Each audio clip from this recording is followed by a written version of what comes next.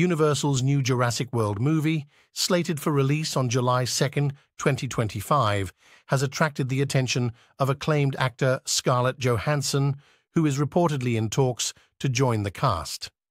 Directed by Gareth Edwards and scripted by David Koepp, the film marks Johansson's return to the realm of franchises following her iconic portrayal of Black Widow in numerous Marvel Studios productions.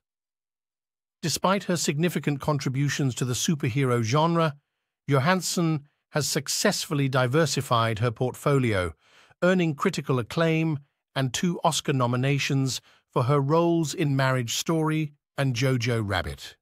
Additionally, she is set to lend her voice to the upcoming Annie animated feature Transformers 1 and is involved in a high-profile Apple project alongside Channing Tatum, slated for release this year. The new Jurassic World installment represents the latest chapter in the venerable franchise, which originated with Steven Spielberg's groundbreaking Jurassic Park in 1993, adapted from Michael Crichton's novel.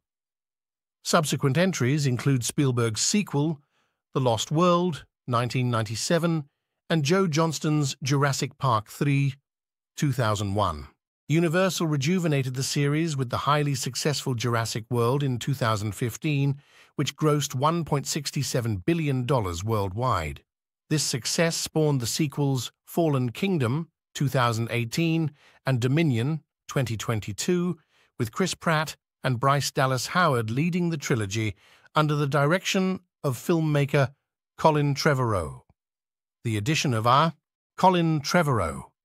The addition of Scarlett Johansson to the cast adds further anticipation to the already eagerly awaited continuation of this beloved franchise.